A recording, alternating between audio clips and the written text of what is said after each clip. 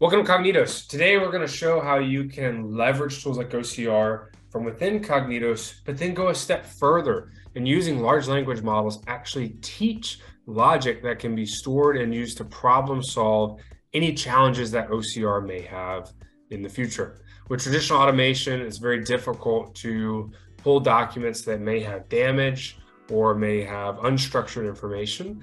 But for a human, this is pretty easy. If you would notice, uh, if I was a person talking to an intern to get the information from this document, I would say, okay, for ABC widgets, the customer ID is always the number underneath the trailer number. This is simple logic that we as humans understand, but until now, automation was not able to understand.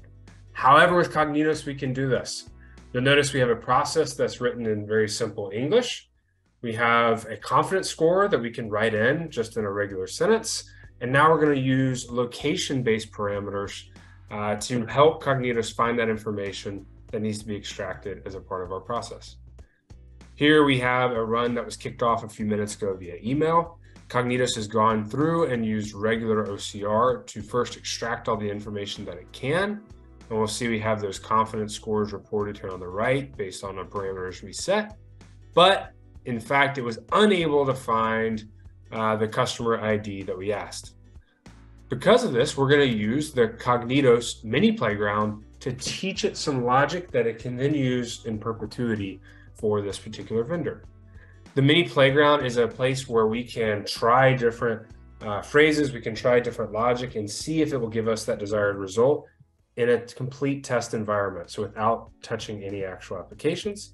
And then if we like it, we can uh, have it saved for the future. So we're going to say we want it to grab the line below the documents trailer number.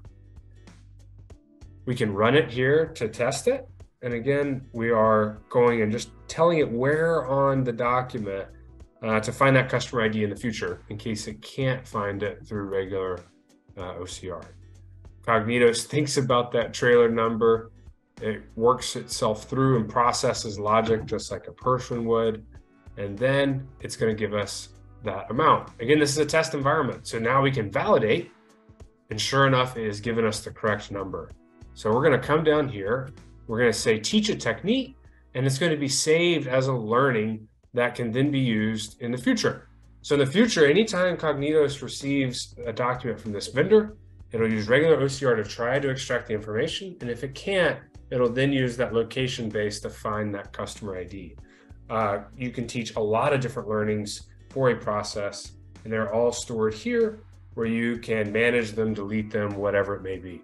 This makes your extraction of even complex variable or even damaged documents um, robust and easy at scale.